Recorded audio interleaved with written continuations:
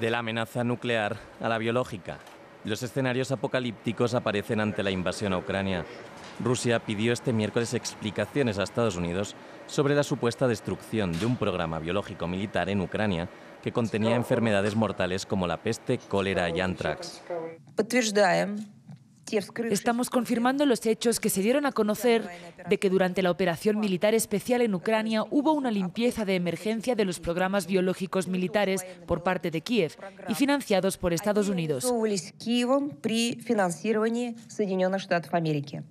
Estas especulaciones surgieron después de que Marco Rubio, senador republicano estadounidense, preguntase por la existencia de material biológico en suelo ucraniano.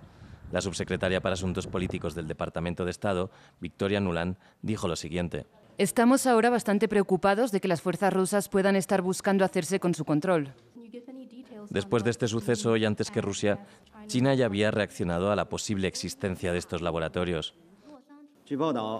Estos laboratorios biológicos almacenan una gran cantidad de virus peligrosos. Las actividades de militarización biológica de Estados Unidos en Ucrania son solo la punta del iceberg bajo el manto de reducir el riesgo de bioseguridad a través de la cooperación y fortalecer la salud pública mundial. El Departamento de Defensa de Estados Unidos ha tomado el control de 336 laboratorios biológicos en 30 países del mundo. Sin embargo, el uso militar de estos laboratorios biológicos ha sido calificado por el Pentágono de absurdo, mientras que un portavoz presidencial ucraniano negó la acusación.